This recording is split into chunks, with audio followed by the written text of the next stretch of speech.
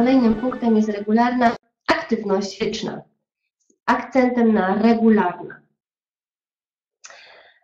Bo jeżeli sobie postanowimy, że sobie chcemy zrobić rzeźbę, nie? Ale tak sobie super wyglądać, e, no ale nie mamy czasu tak codziennie nie, się tym zajmować, no to wytniemy tam na przykład, nie wiem, trzy dni, pójdziemy na siłownię, po prostu będziemy jechać ze sztangą i ze wszystkim. Nie da się tego tak zrobić, wiadomo. Na to potrzebny jest czas, to też jest czas na to, żeby się po prostu ten organizm regenerował, żeby się to jakoś tam wszystko uleżało, żeby um, organizm się też przyzwyczajał do zmian i tak dalej. I tak jest ze wszystkim, tak samo jest z naszym umysłem. Jeżeli my go od razu zarzucimy naraz po prostu zmianami, yy, zrewolucjonizujemy sobie całe życie, e, narzucimy sobie taką samą dyscyplinę, że po prostu no, głowa mała nikt takiego czegoś jeszcze nie widziała, no nie?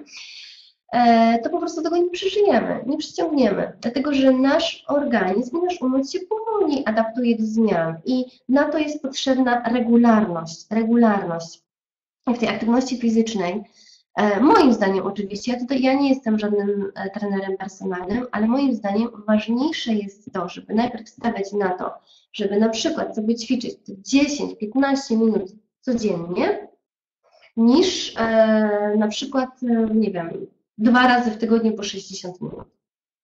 Bo wypracowanie nawyku spowoduje u nas to, że my to po prostu będziemy robić automatycznie i że nam zacznie brakować tego, że my tego nie robimy faktycznie, że poczujemy, że ten dzień jest niepełny.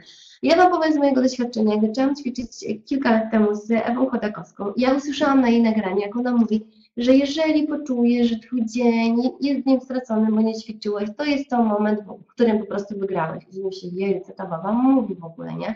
Jak ja się muszę tak zmobilizować, żeby się zebrać, żeby w ogóle cokolwiek nogą ruszyć.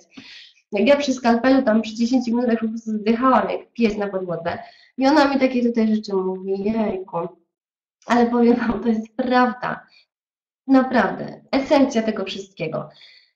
Następuje taki moment, następuje taki moment nawet w, mojej, w moim przypadku, e, kiedy po prostu byłam, miałam kiepską kondycję fizyczną, następuje taki moment, że nam tego brakuje.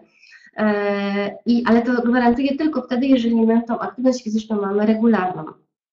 E, więc tutaj ta metoda Kaizen, małych kroków jest kluczowa.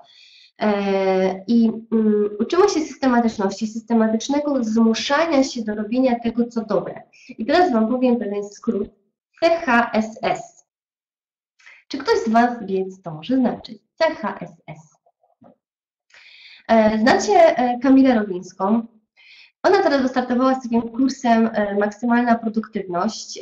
Ja tego kursu sobie nie wykupiłam, ale gdzieś tam widziałam w jakichś mediach społecznościowych taką mm, zajawkę jakby tego. I, od, razu bar, od razu sobie to spisałam, bo bardzo mi się spodobało. E, CHSS to są takie czynności, które trzeba codziennie wykonać. Niezależnie od tego, od okoliczności, niezależnie od naszego chcenia, niechcenia. E, I to są takie czynności pod tytułem CHSS, czyli choćby skały, strały, musimy to zrobić i kropka. I są pewne rzeczy w życiu, które my robimy, nawet jeżeli nie chcemy, bo wiemy, że musimy zrobić. Prawda? Na przykład sprawdzanie zeszytów uczniowskich nie zawsze jest jakimś super fascynującym zadaniem, ale wiemy, że to musimy zrobić, po prostu to robimy, zmuszamy się i robimy. I tak samo jest chociażby na przykład z tą aktywnością fizyczną.